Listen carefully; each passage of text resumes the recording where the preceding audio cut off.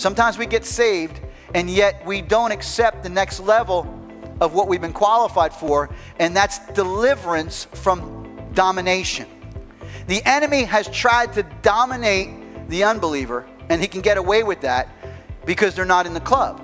But when you've been given access to the club, the power of darkness the power for the enemy to have dominion over you, over your thoughts. And sometimes we just we just ignore our thoughts and it's all about spiritual. No, the enemy even knows that if he can captivate your thoughts, he can captivate what you believe. If he can captivate what you believe, he can captivate your actions. And if he can captivate your actions, whatever you do brings you into the rulership of those you obey.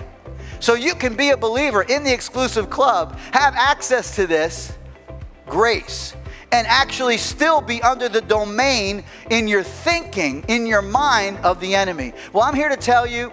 Don't have time to do all kinds of teaching on that, but to tell you the truth, you have been delivered. If you prayed that prayer right now with me, you have been delivered from the power of darkness.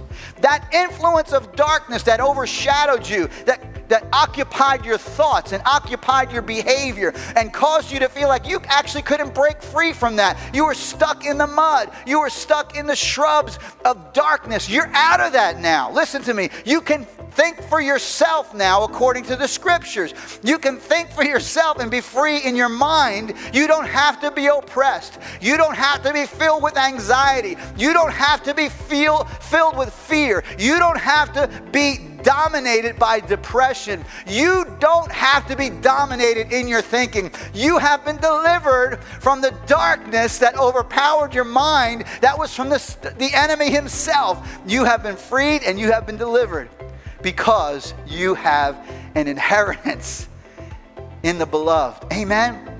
Because you're qualified. You're hidden with God in Christ. You're there. You're in Christ. The devil doesn't have that kind of access to you. Don't allow him to whisper in your ear, sowing seeds of doubt that make you give up what you already have freedom.